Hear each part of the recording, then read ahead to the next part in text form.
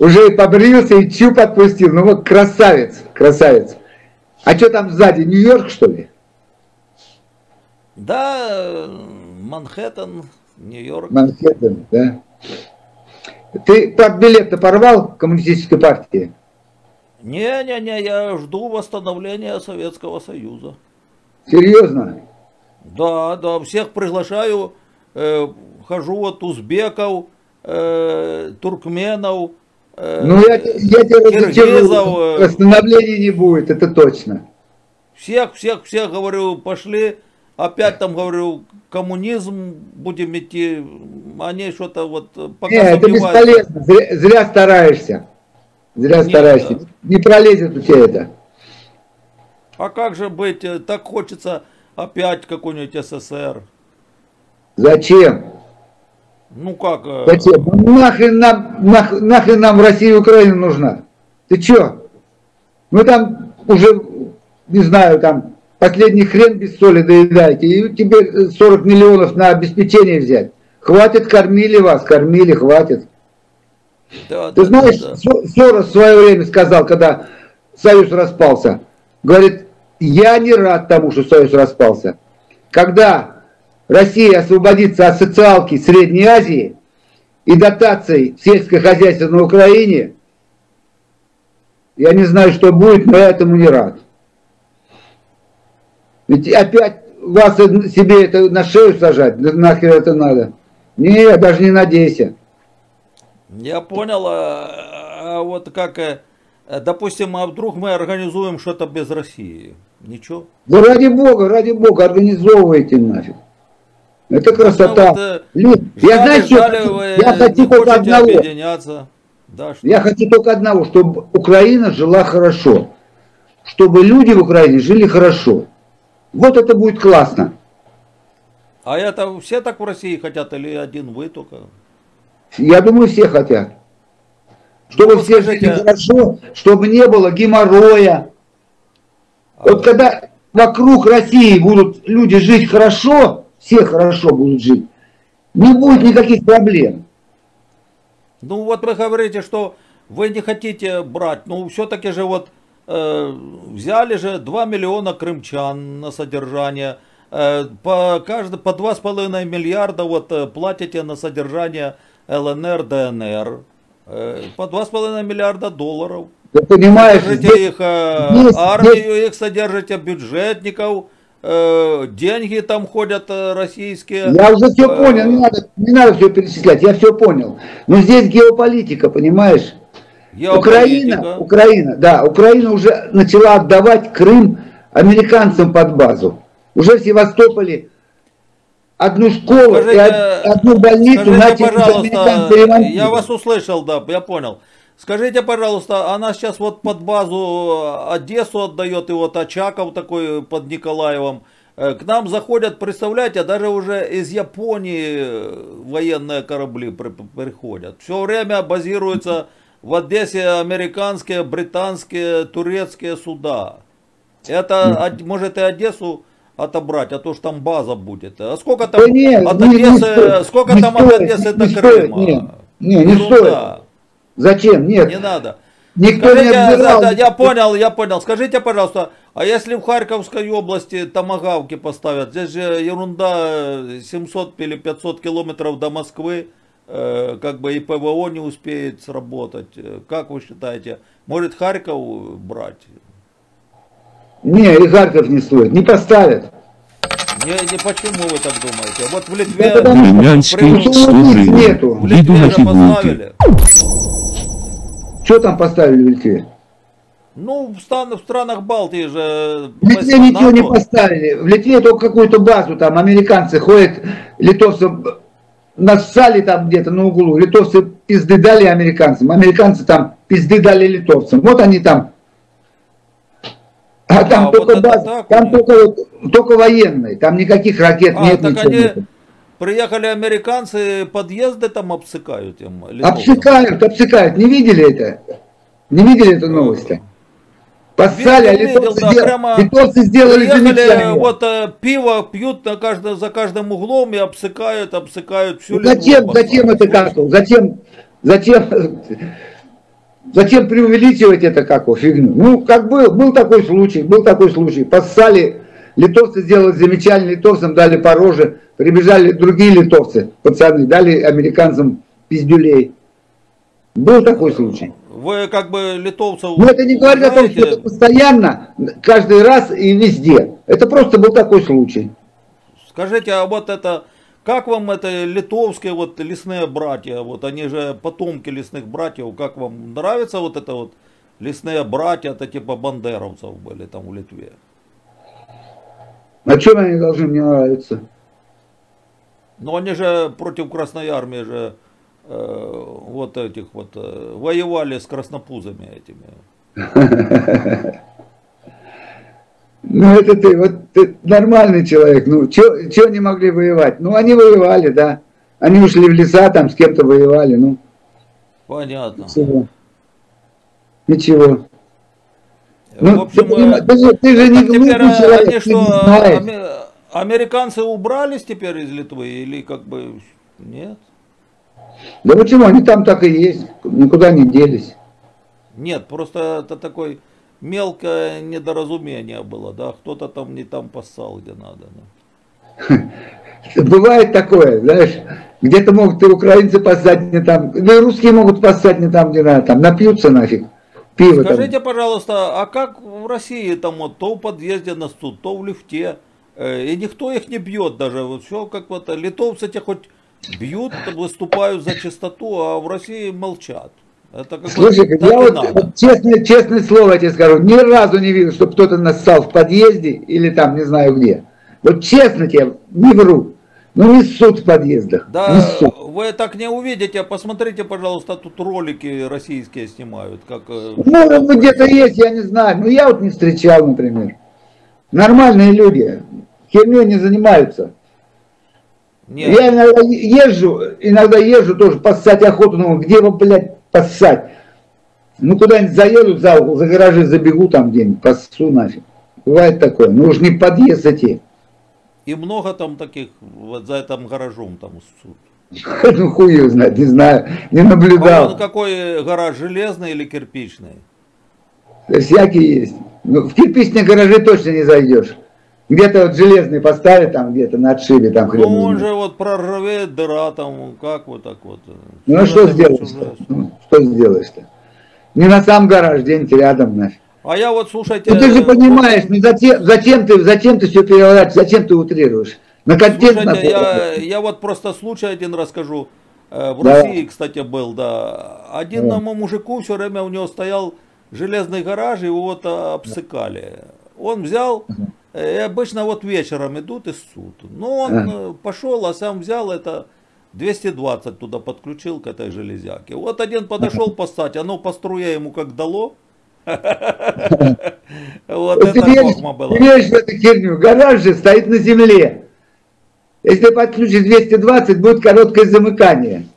Так ну. не, не, подождите, не, короткого замыкания не будет. Вот понимаете, он э, вначале стоит э, не прям железяка, прям вот так на землю стоит, а там еще вот так вот э, кирпич был подмощен силикат. Ага, на фундаменте, не проходило да? туда. На фундаменте. на фундаменте, да. Ну, один ряд там силикатного кирпича просто лежал, да. Он же тоже не дурак, электриком был, знает, что такое изоляция, да. Ну, я тоже слышал такое, один обворовывали, у него была дача там где-то, на дачном участке, обворовывали, и он подключил к дверям фазу. И кто-то там собрался к нему полезть, его ёбнуло там.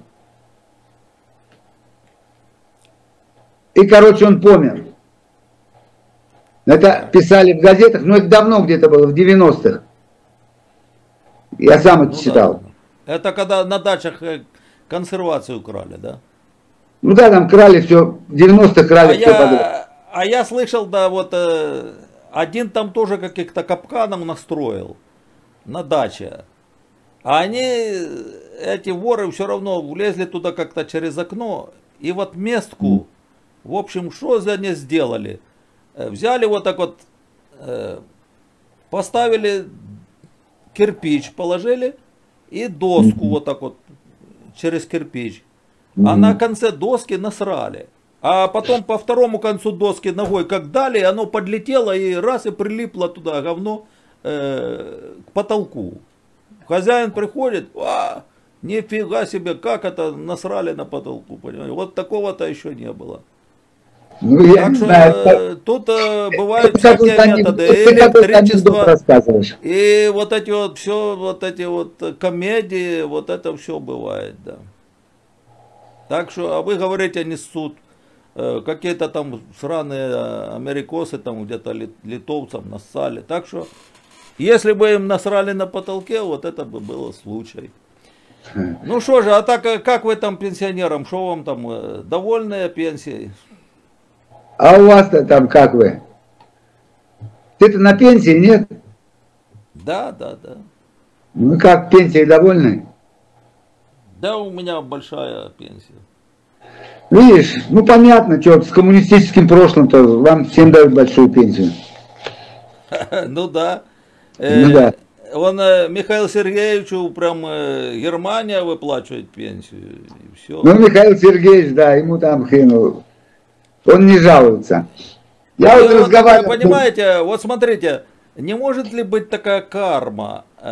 Вот смотрите, Ленин продал за марки Российскую империю. Ему да. заплатили, вот была там первая мировая война, немцы не могли выиграть. Они Ленина подкупили, в опломбированном вагоне он приехал на, фин, на финский вокзал с бабками и затеял эту революцию за немецкие деньги. Вот. Не Ленина опять-таки, смотрите, обожди, вот Горбачев... Обожди, не, на, не, надо, не надо переворачивать историю. Не Ленина подкупили. Такой Александр Нет. Парвус. Ты слышал такое имя и фамилия? Александр Парвус. А? Я, я не знаю, я знаю, что Ленин приехал ну, в слышал. Вот тогда изучи, обожди, прежде чем вот эти вещи говорить, ты изучи. Александр Парвус, набери в интернете и узнаешь. Александр Парвус получил 10 миллионов рейхсмар, ой, золотых марок. И сказал, что я сделаю так, что устроим революцию в России – и Россия перестанет воевать с Германией. Германия выделила на это 10 миллионов марок. Получил это Александр Парус.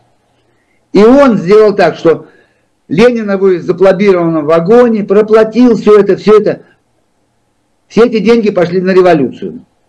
И в оконцовке Германия по Брестскому миру получила то, что даже она в жизни не смогла представить, что она может завоевать. Ты сам знаешь, Западная Белоруссия, Западная Украина. Ну вот тогда просто ты для, для самообразования узнай, кто такой Александр Павлус. Вот это первое. Вот ты, наверное, набираешь, да? Правильно делаешь. Не, не. Я хочу вам показать. Э, вот, смотрите, вот, вот мне э, пенсия приходит. Вот, смотрите, видите, написано... Вторник, 17 960. Да, да вижу, вижу. А. Э, а, тут вот, э, видите, написано, что, смотрите, э, выплаты пенсийному фонду. Видите? Пенсия 17 690, вижу. Да, вот это выплаты пенсийного фонда. Вот у меня пенсия 17 тысяч 690 гривен. Это сколько будет на ваши? Ну, на два с половиной хотя бы умножь, сколько там будет. Ну, я знаю. Я не, не охота, тысяч, не охота тысяч, тысяч сорок будет, нет, ну где-то так. Ну. Короче, я сейчас вот разговаривал, не сейчас, а ну позавчера разговаривал с одним пенсионером, с военным. Он говорит, я получаю полковник, полковник в отставке. Я говорю, получаю 40 тысяч военную пенсию и 12 тысяч получаю пенсию социальную. Жена у меня работает главврач детской поликлиники и пенсию получает. Я, говорит, не знаю, куда деньги девать. У меня денег как грязи. Мы их не... А те, которые получают минимальную пенсию, мне говорят, они ни хера не работали никогда, ничего не хотели делать. А я говорю, а как же медсестры получают минималку бывшие? Там продавцами люди работали, там, ну, всякие там, уборщицы кто-то работал. У кого-то там трое детей, они там, пусть знает, разрабатывали. А ничего нафиг. Он говорит, это все, это нищета, отбросы, они херня. Понимаешь, вот ты можешь отнести тебя к этому полковнику, который мне это рассказывал. Он 40 тысяч пенсию получает военную, 12 социальную, 52 тысячи. Больше твоей пенсии, понимаешь? Еще жена получает пенсию, и она еще работает. Ну, видите... Поэтому что говорит, все люди, все люди живут по-разному. Денег надо много тратить, у вас там же холодно, всякие надо теплые вещи покупать, а у нас что тут, у нас живем у моря на курорте. Так что... Ну что ты, что ты, у моря на курорте, конечно в Одессе там может у моря на курорте, все равно Не, приходится... Я в Херсонской области живу, Лазурная, это э, Черноморское побережье Херсонской области. Ну какая разница, не вся Украина живет Черноморском побережье Херсонской области. Ну почему? Смотрите, Есть в Полтаве, Мариуполь, тоже... Бердянск, Приморск, Одесса, там Николаев, попадает, Херсонская область. А? Там тоже снег бывает, бывает холодно, не каждый день тепло. У вас раньше, у нас вот смотри, вот смотри, я тебе покажу, покажу сейчас. У нас смотри еще, видишь, Ага. Видишь сугробы? Вижу, да. Вот, это как снег нагребли за зиму, они еще не растаяли, так они и лежат. Хотя дороги ага. сухие там, уже растаяли, а вот как сугробы нагребли, так они лежат. Конечно. вот сейчас э, бабушка моя перевела на этом э, конвертере, говорит, что это 18 тысяч, это будет вашими 50 тысяч. 50 тысяч. Ну, я не знаю, хрен узнает. Считать, неохота мне считать. Ну, может быть, да. Так что, ну хорошо, ну а вообще там вы что, довольны 36, политикой партии и правительства? Или как? Может давайте э, все-таки Советский Союз? Чтобы... Не, не, не, не. Я недоволен нашим правительством. Не, да. А скажите, а вы какого года? 53-го. А, ну я 52-го.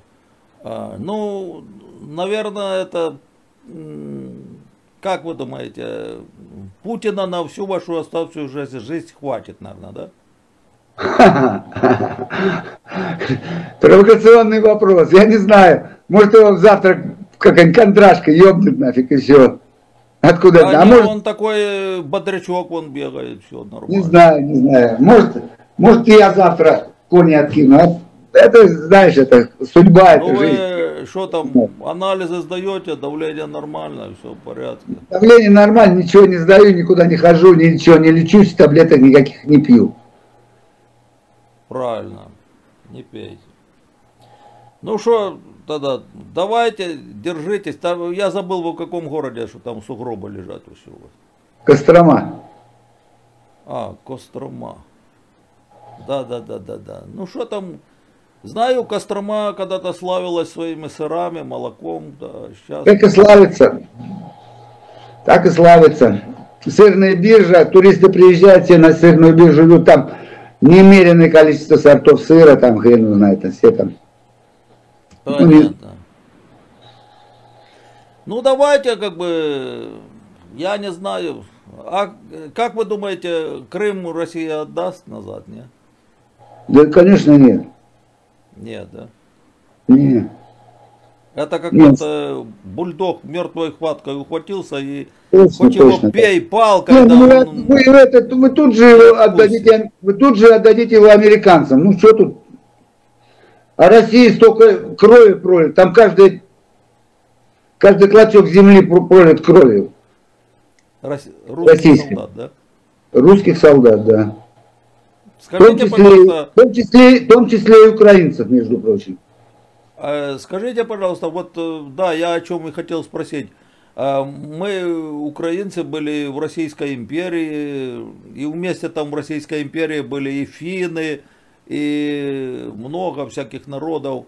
Mm. И так сказать, и мы принимали участие в российско-турецких войнах, и казаки наши, и да, если да, вы да. были в Севастополе, там вот стоит памятник моему земляку, матросу Петру Кошке, Это он Кошка, венечанин да. сам, да.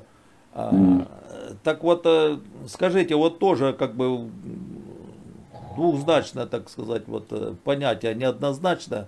Э, были, были, а как дележка пошла, россияне говорят, типа, да, а при чем тут вы? Это же все кровушку мы там проливали одни, это все наше, как бы, вы ни на что права не имеете. А у меня, кстати, нет, вот нет, сосед, нет, укра... Э, украинцы сосед, сосед у меня воевал с японцами на Сахалине, но он уже умер, и ногу там потерял. И скажите, за что? А, почему же нам э, тогда, получается, и Крым отобрали, хотя бы часть Сахалина дали или что-нибудь такое? Ты красавец, ты просто красавица. Вот ну, слушай, смотрите, обожди, может вы правы в своем роде, может вы правы. Сколько не будь там в этой империи и 300 лет, и 500 лет, все равно скажете, что все это наше, вы там, украинцы, ни при чем, да? Так же получается? Да нет, нет, конечно, нет. Брежнев, Брежнев руководил страной 18 лет. Брежнев по национальности украинец паспорте написано, паспорт есть его в интернете, написано украинец. Я знаю, там написано ну, украинец, он э, родился в Днепропетровской области. Да, да, да, да. Даже по национальности он был не русский, а украинец. Хрущев тоже с Украины. Вот украинцы руководили Советским Союзом. И украинцы также, как и русские, также принимали участие, не все украинцы, конечно. Тогда еще Украина когда вот, допустим, Крым завоевывали, она там, не знаю, совсем маленькая была. И тогда даже не Украина не называлась. Тогда еще Херсон не был, ни России, ни Украины. Там дикие э, земли были, дикие степи. Не, ну вот смотрите. Э, и Одессы время... тогда не было, понимаешь? И Николаева не было. Ничего этого не было. И Крыма не было. В Крыме были татары там рулили. Они греков перебили и там рулили вместе с турками. Смотрите. И вот эти войска, в том числе там были и казаки в этих войсках. И казаки там были, украинцы, да. Этот Крым отбили у турок, завоевали. Но в основном большинство там русские были, понимаешь? Русской крови. И казаки были те же самые русские. Они не были какими-то там татарами, или поляками, или там финнами. Они были русские казаки, понимаешь? Хотя жили они в том месте, которое сейчас называется Украина. И Гоголь писал слова Тараса Бульба. Русские, понимаешь? Он называл себя русским. И Владимир Даль в своей, это как его, словаре русского языка писал, что русский язык, украинский язык, нет, он писал тогда малорусский язык, русский, малорусский и белорусский язык, это диалекты русского языка. Мы сейчас в России говорим не на русском языке, на диалекте русского языка. И украинцы говорят на диалекте русского языка, и белорусы также. Это писали профессора, которые жили долго до нас. Они, наверное, больше знали. И если даже почитать письмо казаков турецкому султану, то оно точно не на украинском языке написано. На суржике вы скажете сейчас. Да нет, написано там на украинской мове. Не, не, не, не на украинской мове, нет. Почитай, почитай. Они на суржике написаны, скорее так. Ну, смотрите, Потому что каждый русский, обожди, каждый... Подождите, у вас такой диалог и монолог, вернее, я уже забыл что-то... Давай, давай, говорить. давай, я слушаю, я слушаю. Давайте, давайте все по порядку. Э, дело в том, что, да, вот сейчас в России там рассказывают, что были там пустые степи, никто там не жил, ни в Херсоне, ни в Одессе, ни в Николаеве, ни там вот в Приазовье никого не было, понимаете. Э, у нас э, есть, э, так сказать, перечень паланок, вот по-российски это станицы, а по-украински это паланки. Так вот, у нас было запорожское казачество, и были паланки, начиная от Донбасса и заканчивая Одессой, и Херсоном, и Николаевым, везде были поселения казаков.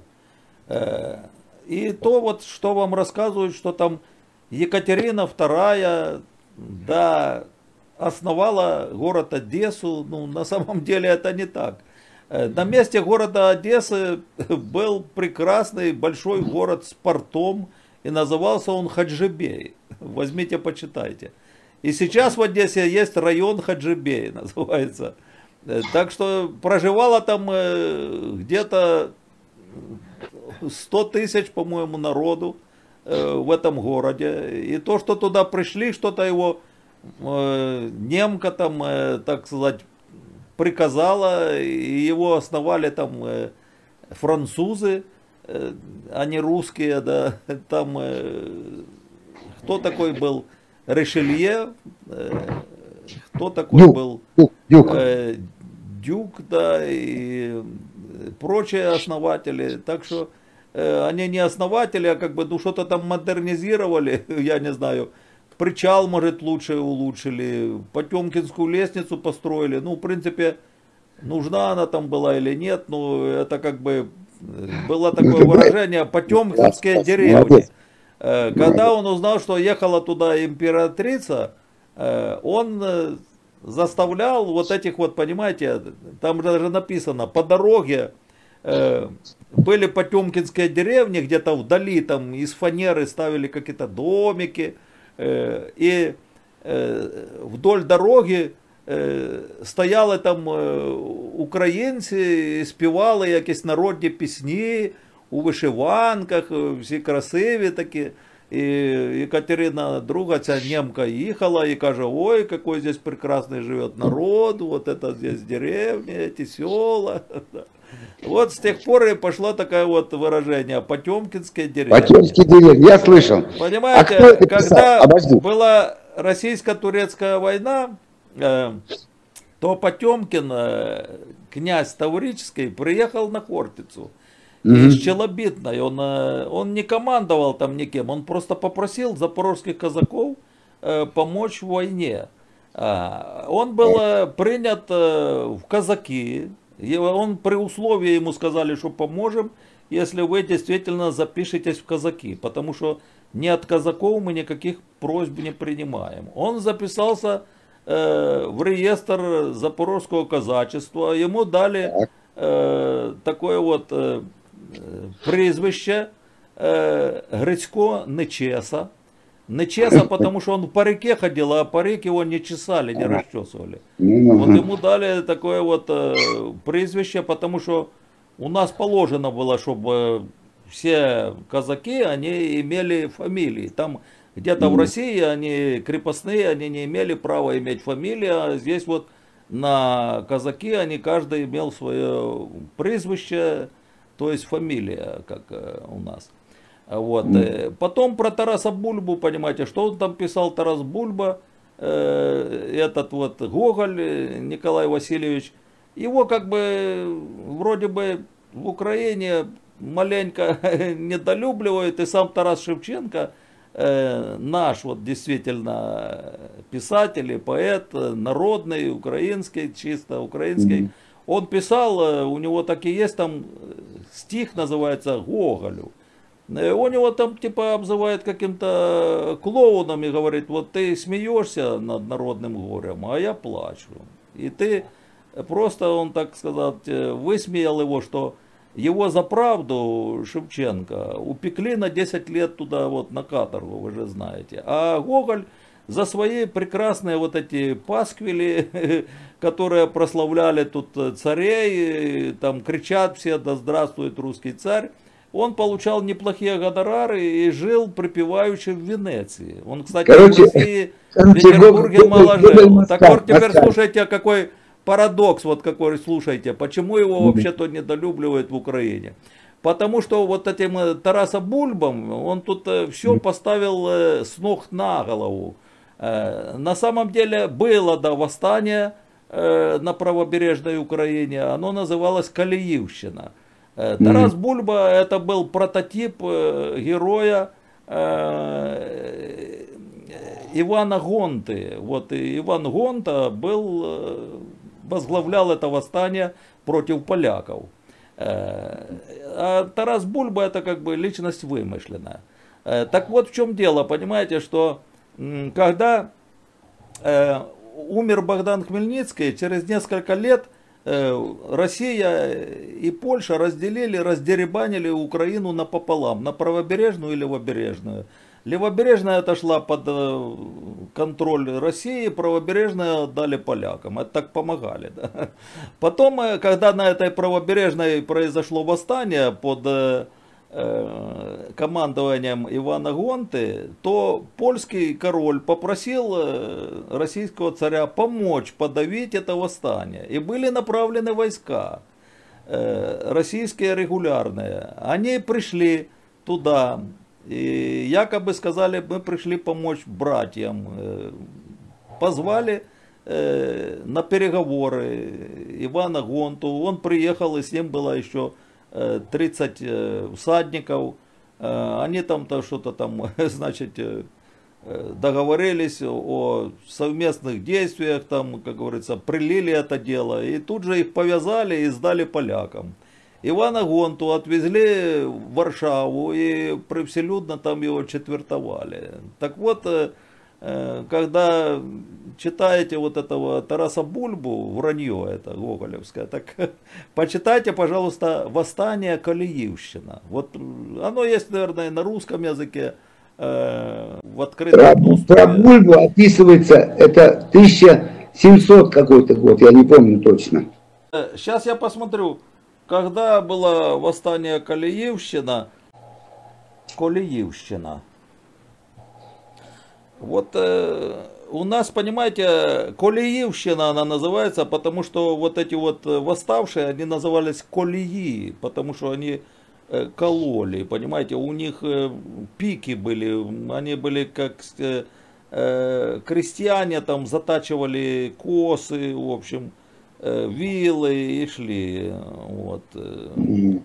Так вот, э, смотрите, вот Калиевщина, сейчас я почитаю, Калиевщина, восстание, они назывались эти восставшие гайдамаки в 1768 году. Здесь вот так и написано, что Э, на правобережной Украине в 1768 году э, против крепостнического э, права, экономического, политического, религиозного, тра-та-та-та-та-та, вот они восстали, короче, и вот так вот помогли, да, правда, вот, вот, да, правильно меня поправили, 1768 год. А Гоголь, он как бы умер, ну там всякие ходят, байки, его там, значит, вот э, эксгумировали, э, он что-то там э, лежал кверху жопой, что-то непонятно. ну, короче, такие комедии, да. Почитайте там о... Я тоже это слышал, что Гоголя похоронили, типа, что он не умер, а был, не знаю, в коме в какой-то. Его приняли за мертвого, похоронили, а когда эксгумировали, он в гробу там перевернулся, потому что ну, похоронили его живым, и все. Насчет это, Потемкина... Знаю, это, это, ты понимаешь... это, я понял, я вам скажу, насчет Потемкина, э, он, э, когда умер, его похоронили, вот я забыл, где его похоронили. Где-то, короче, вот тут, э, не то в Николаеве, не то в Херсоне, а где-то там. Я, я, я этого не помню. И, и он, понимаете, потом он же был фаворитом Екатерины II. А потом, когда он умер, то какие-то доброжелатели, в общем, туда тоже пробрались.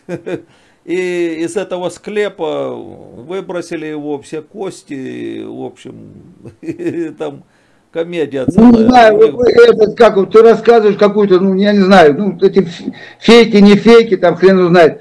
Это Могила ну, то, что Потемкина это, это нанос, то, что нанесли там на историю. Кто там что наговорил, теперь все это все Смотрите, э, смотрите доказательств э, этому нет. Подождите, вы не знаете, где Потемкин похоронен? В Свято-Екатерининском соборе в Херсоне захоронен прах князя Григория Александровича Потемкина, Таврического. Да. Он да. умер в 1791 году, скончавшегося в Ясах 5 октября. Ясы, кстати, это Румыния. Молдавия. Э, или Молдавия. Ну, это тогда была Румыния. Э, ну, да. Тело князя сразу после его кончины было забальзамировано и готово к погребению. Э, вот.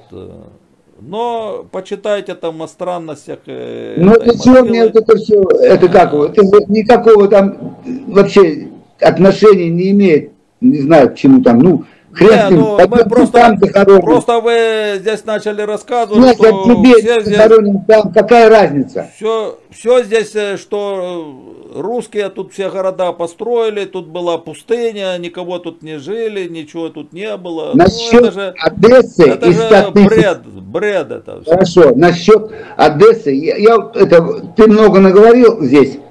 Ну. Извини, что на ты обращаюсь, мы ровесники вроде, да? Пожалуйста. Ничего страшного. Вот. Что там 100 тысяч жителей было. У меня есть дома энциклопедия. Энциклопедия Ага. Гранат. Открываю. Она выпуска 1913 года. Ну и что? И вот я открываю там Одесса. Угу. И там написано, когда, чего, сколько там жили. Ну, количество людей, как она начала развиваться. Там очень много написано. Эту энциклопедию составляли больше 60. Вот. И дальше. Там написано, например, по переписи 1897 года в, Укра... это, в Одессе проживало 52% великороссов, 32% евреев, третье место. Как ты думаешь, кто занимал третье место? Не знаю, вот молдаване, может быть. Нет, немцы. 6% немцев там жило. Екатерина очень интенсивно зазывала туда немцев. Там целое поселение были немцы. 6% немцы. А малороссы, там как написано, я говорю, как написано в энциклопедии, которая издана в 1913 году, малороссы были 4% там всего в Одессе.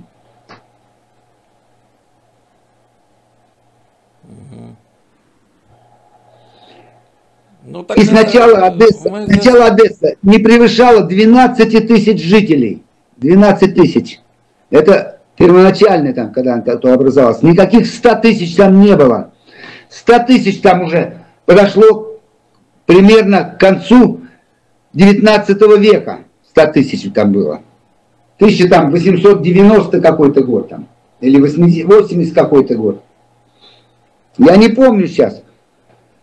Я сейчас не дома. Я сейчас бы взял эту энциклопедию, тебе показал, открыл. Ну, смотрите. Э, так.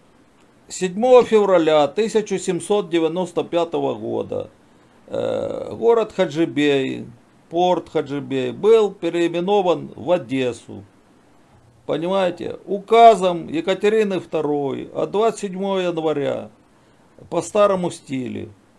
Вот. Э, так я о чем говорю, что ну, там никаких не было. Понимаю, внимание, смотрите. Город mm. просто переименовали, а не основали. Вы разницу видите? Кто там проживал? Э, это дело такое, понимаете. Э, кто там проживал? Давай, потом с вот, эти, с вот этим вот термином, э, с вот этим термином э, малоросы, э, великоросы. Смотрите, э, слово, я думаю, что росы, да, это, я так понимаю, пошло откуда? Э, от слова Россия, рос, Россия, да? Ну да, Русь, от слова Русь. Не, не, не, тут уже сказано не мало русы, а мало росы. Правильно я так Да какая разница? Разница ну, не большая, большая. большая разница. Смотрите, я вам сейчас расскажу, в чем разница, понимаете? Дело в том, что само слово «Россия», само слово «Россия» возникло в 1721 году.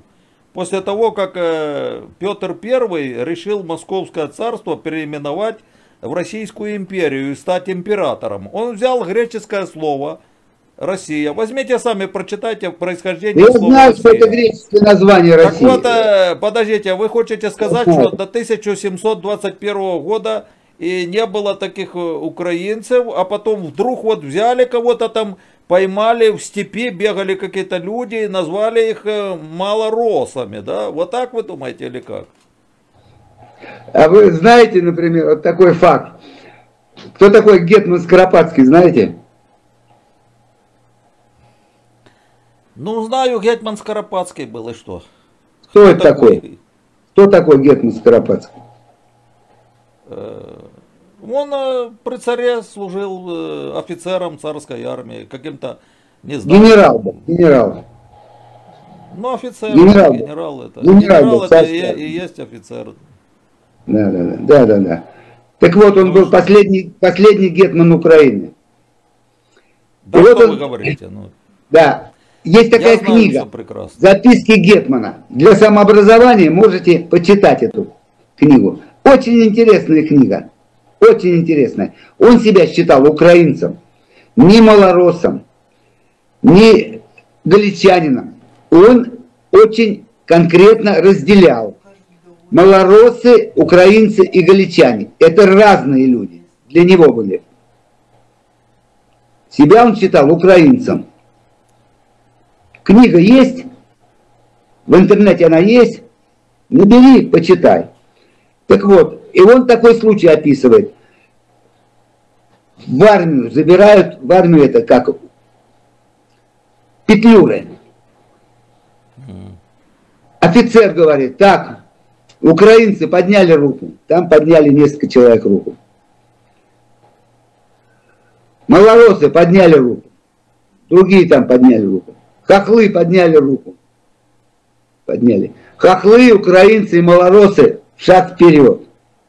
Люди на этой территории идентифицировали себя по-разному. И даже был случай такой, что полтавские крестьяне писали, зачем вы нас оскорбляете, зачем вы называете нас украинцами, мы ничего не крали. Это факт, это зафиксировано, это есть в интернете, понимаешь, это документальные данные. Люди не знали такое слово украинцы. И украинцы, украинцев делала Польша и Австро-Венгрия из галичан. Были такие два лагеря, Терезин и Талергов, где держали только русинов. Потому что Австро-Венгрия воевала с Россией, и никакие русские и русины им были не нужны. А если русин говорит, что я украинец, то все, до свидания. Украинцев там не было, только русины.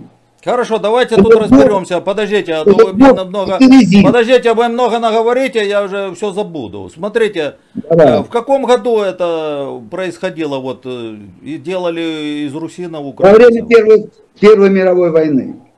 Первой мировой войны. Э, каким образом тогда, а когда Гетман Скоропадский родился? В 18 году. Родился, родился в каком году?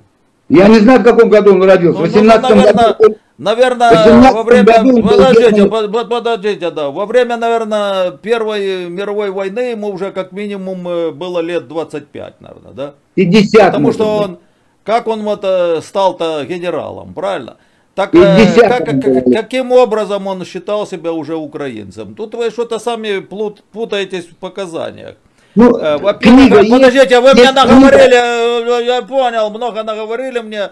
Я сейчас буду распутывать вот этот э, ваш клубок.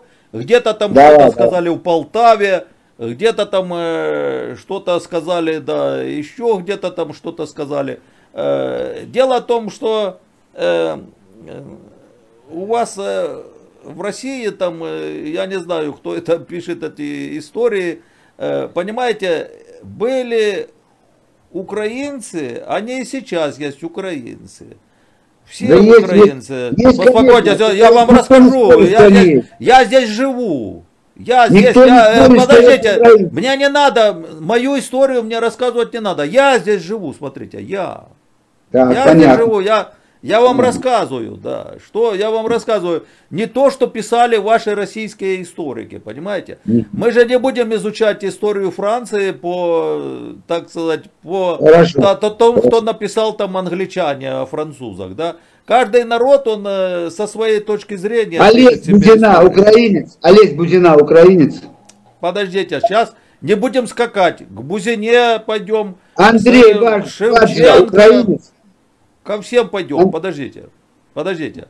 Мы сейчас с вами разберем и 500 э, русских фамилий э, татарского происхождения, начиная от э, Арцебашев, Арцеулов, Ахметов и заканчивая Якуниным, все русские фамилии. Лев, сейчас, Лев, сейчас, сейчас, к этому придем, к этому придем. Подождите, подождите. Сейчас, сейчас, сейчас, сейчас разберемся, разберемся с украинцами, разберемся с украинцами. А тогда мы разберемся, какого вы рода. Вот. Э, кстати, может да, и у вас... Да, как, давай, может, и у вас, э, может, и у вас, да, может и у вас, да, вот, я не прыгаю, я сейчас Давай. Э, разберусь, да, и с вашими фамилиями, которые вам раздали на, типа, Давай. на болгарский лад вам дали фамилии, на ОВЕВ заканчивающиеся.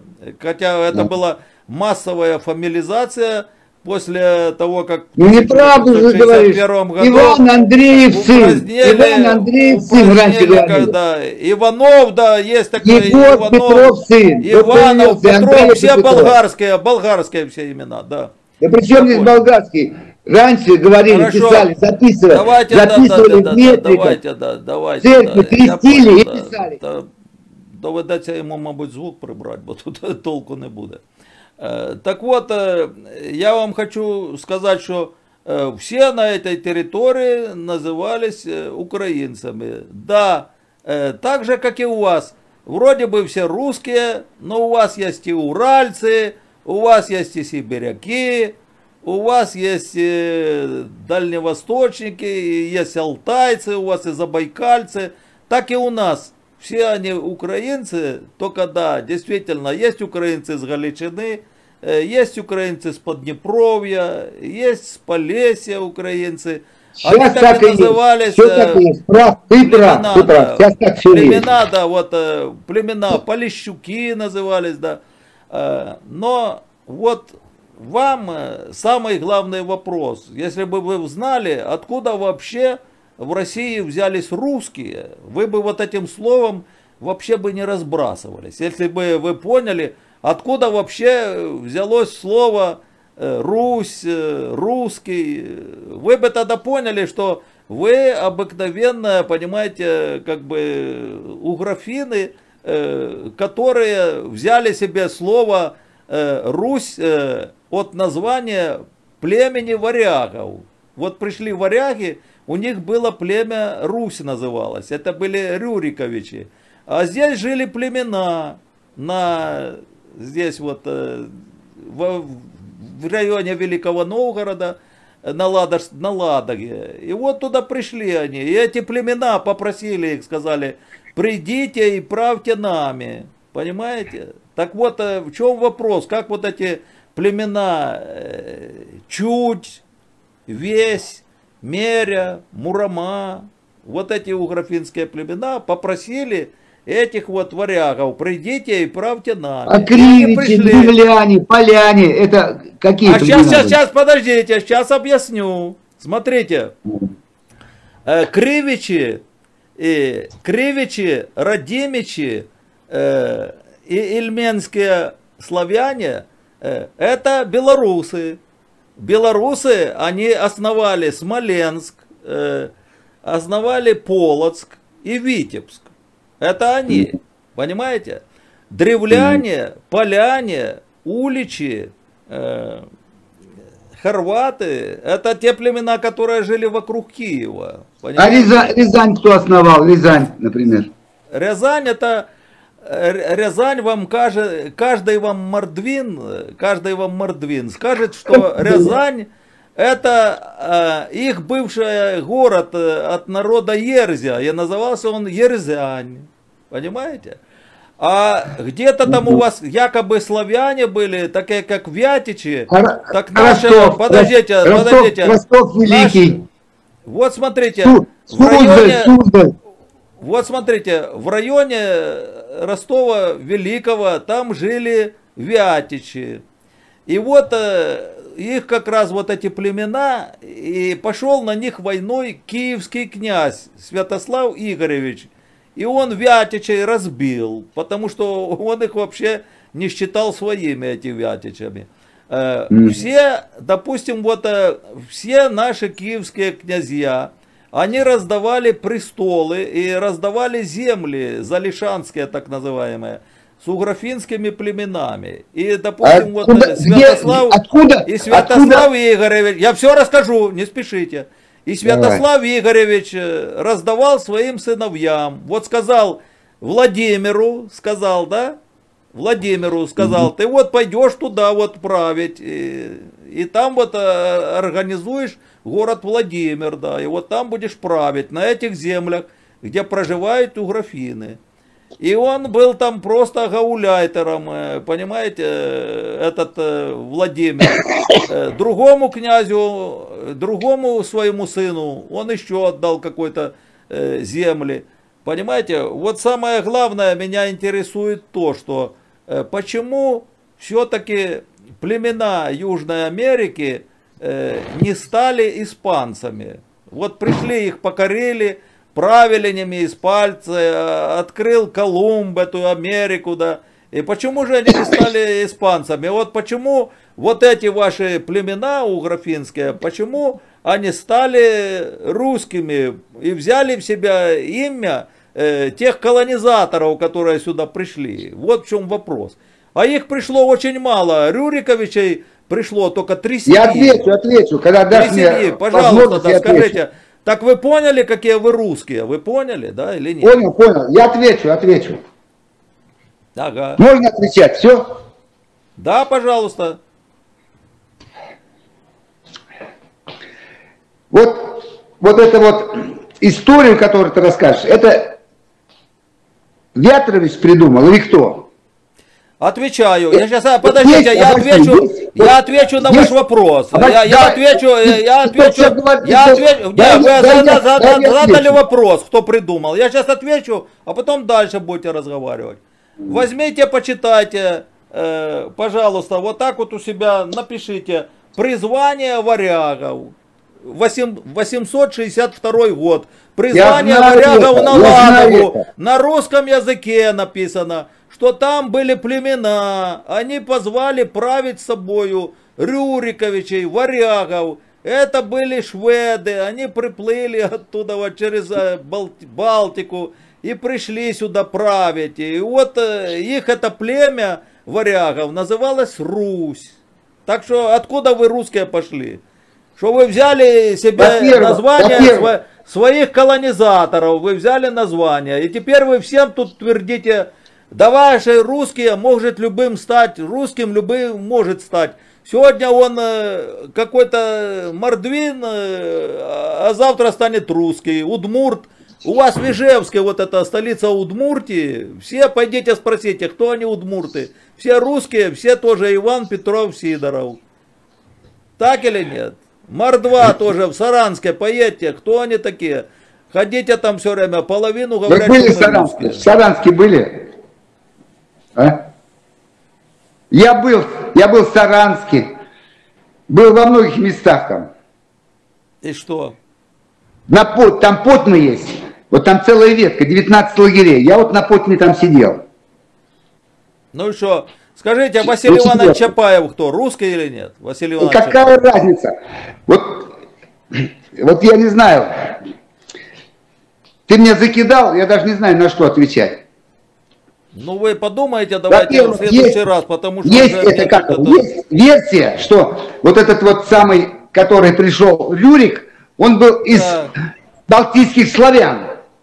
Славяне жили Да какая Балтике. там версия? Балтика. Сказано... И, на территории Германии, вот эта вся прибалтийская Повести... вот часть Германии, Подождите. жили славяне. Подождите, в повести временных лет сказано, что пришли они из-за моря, из Балтийского, пришли они варяги. Варяги это шведы, Балтийское, скандинавы это... Ты не даешь говорить, ты понимаешь, ты говоришь один, а мне да не даешь говорить. Там... Вы найдите, славяне, почитайте. Славяне жили, там, славяне были ваши... самое многочисленное племя в Европе, самый многочисленный народ в Европе. И они жили, вся Прибалтика и Балтика, та сейчас Германия, там сейчас и есть острова даже назва, называются русскими именами. Вот вся эта вот часть там заселялись славяне. Хорошо, хорошо, хорошо. Успокойтесь, я понял вас. Пришло три семьи славян к вам у графинам, и вы взяли их имя. Вы стали русскими, да? Вы так хотите сказать или что? К графинам? Да. Ну там четко написано, что племя, весь, Мурама, э, позвали править собою. Племен было много, я не историк, я сейчас все я не помню, сказал, что все это. Я, я помню, Есть смотрите, Мурама, были смотрите, там, какие-то там хрен, кого только Кривичи не было. это белорусы. Кого Кривичи только не было. белорусы. Угу. Кривичи белорусы, Кривичи, Радимичи, это белорусы. Угу. А, та, а, да, там были Кривичи белорусы, ильменские славяне, это белорусы. Они ушли я, я не хочу спорить города, на эту тему. Смоленск, я на эту Полоцк, тему не хочу Вильнюс. спорить. Ну, например, вот, например... Берите, читайте князь... повесть временных лет, призвание варягов. Почитайте. Я знаю, я это слышал. Я это слышал. Я только так другое хочу сказать. Что киевский князь какой-то, я не помню какой, призвал к себе 30 тысяч к нему приехали. Черкесов. Есть город Черкесск у вас. И они Нет, основали там жили. Э, Черкеска, и Черкеска у нас Черкас, нету. Черкасск. Черкасы есть, да. Черкасы, да. Вот эти вот черкесы, их называли черкесы, они кто там были, они, короче, мусульмане. Ну не русские, короче, не русские. Не русские, да, не русские. Да. И вот они у вас там жили, да. жили, и они там остались. И запорожцы привозили себе жен из Турции. Вы хотите а сказать, что вы прям такие, в генетическом коде, вы такие чистые, прям все не запятнанные, и никакой другой крови в вашей, у вас Кто нет. сказал, что запорожцы привозили жен из Турции? Да их шаровары привозили из Турции. Они без порток туда Я ехали. Я говорю, кто сказал, что запорожцы привозили, э, понимаете, предок, предок запорожцев, это Святослав Игоревич Хоробрый, он имел Ой. вот такой, вот такой вид вот имел, да, вот такой, уже, уже Святослав Игоревич Хоробрый, князь Киевский, да, он имел вот такой чуб, назывался, да, э, mm. усы длинные, как, как тебя, серьгу, да? ему дано описание византийским послом. Э. Так вот, э, он изображен да, византийским послом э, в штанах, с запорожским чубом, с сергой. А шаровары у вас откуда появились? С усами. Шаровары откуда появились? Турецкие шаровары откуда у вас появились? Как национальная вот, одежда. Это национальная одежда, вы считаете, да, турецкие шаровары? Ну, конечно, у вас все это пляшут в шароварах, да и в вышиванках. Скажите, пожалуйста, у вас военная, какая одежда есть у вас военная? Да при чем здесь одежда? При, при том, что ну, я, из портов ехали, что, завоевывали. При том, Турцию. что, подождите, подождите, одевали... успокойтесь, не кричите, не рвите сердце. Э, да я не в шароварах, спокоен, успокойтесь, успокойтесь, в шароварах покурите. В шароварах ходили только запорожские казаки на Хортице. Ну, не вот ходили да. в шароварах вот там э, на Галичине, не ходили в шароварах гражданские да люди. Украина. Это Галичина военная, это форма, это форма одностроя форма, казаков, форма. понимаете? Да, да, да. Военная форма. форма.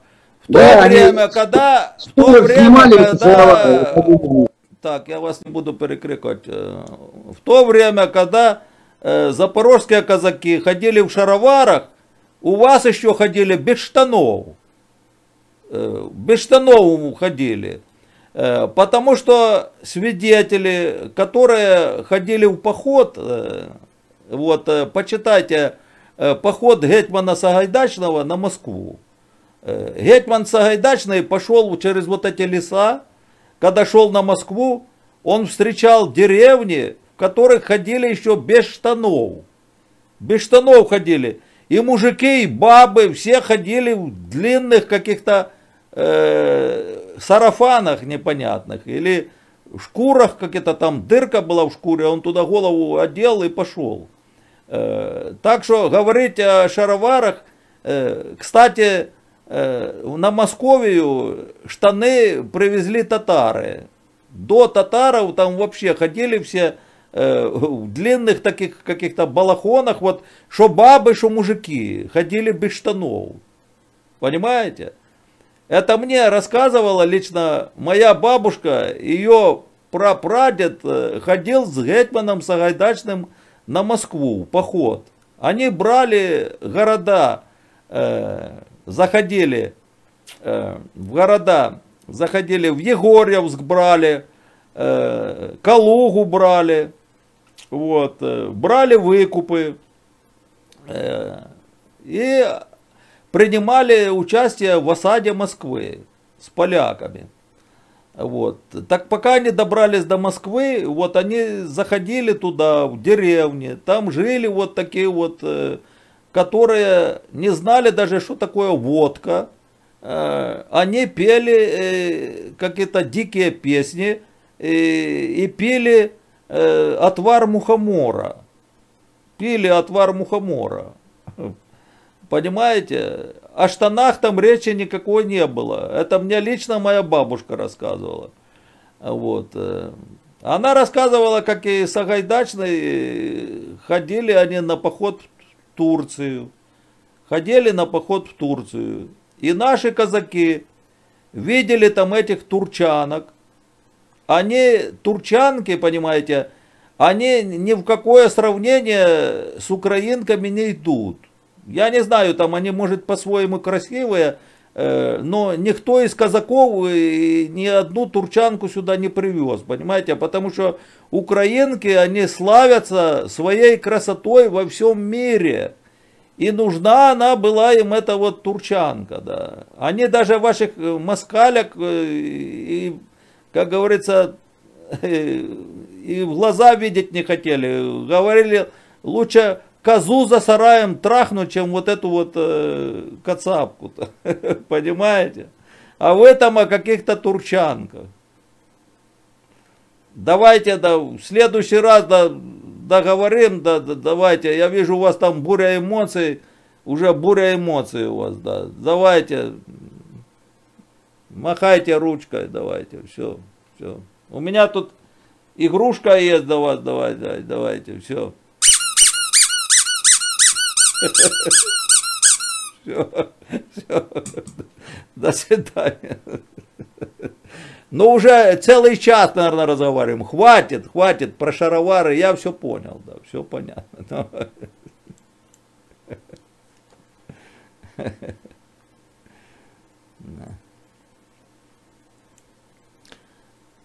Мені вже, мені вже бабуся приходила, каже, там уже пишуть, каже, що хватить вже досить цього. Ну, ну людина весь час закидає такі. Е, якісь незрозумілі. Що Я дійсно, що мені моя е, бабуся Олександра Григорівна, е, вона 900-го року народження. ну, Бачила батько Махна, варили вони куліш махновцям. Ну, багато чого бачила. Бо Махнов в Запоріжжя приходив. От, е, І вона розповідала мені, як там прапрапрадіти, як ходили вони в Туреччину на поход. як на Московію ходили на поход. І розповідала, що каже, воно, знаєте, з покоління в покоління передавалося. оце, що Пішли туди козаки, і через оці ліси, поки вони йшли туди до Московії, е, там якась цивілізація, може, була коло Москви. А там зараз 200 кілометрів од'їдь від Москви, вже нема цивілізації. А тоді тут е, були такі болота, ліси, і вони йшли там, знаходили дярьовні, оці де жили, там ті москалі. От, І вони дійсно вона розповідає, що це мій прапрадід, прапрадід розказував їй, е, моїй бабці, що вони ходили без штанів. Без штанів ходили, що баби, що мужики в якихось довгих сарафанах. Отаких. Ну, це... А що тут такого? Ну, вон, Древні римляни теж без штанів ходили. Якісь у них там були, ви ж пам'ятаєте, візьміть, подивіться на тих спартанців, візьміть, подивіться на. Е, вони обмотувались, бачили такими якимись, я не знаю, як воно називається. Тога, по-моєму, тога називалася щось таке. Ось. Е, і так там на Московії. Теж вони не знали штанів. І там е, вона розповідала, каже, що прийшли вони в одну цю дярьовню і одного цього піймали москаля і кажуть, даруємо тобі штани. Ось. А він взяв і не знає, що з ними робити. Ну і вроді хохма така кажуть, а як їх той? Ну і один заліз каже, а ти залазь, каже, ми будемо держати, а ти на стриху залазь. І так е, з'їдеш і псух ногами в штани. Ну це хохма, я розумію, що це анекдот такий. Ну дійсно мені бабуся розповідала таке.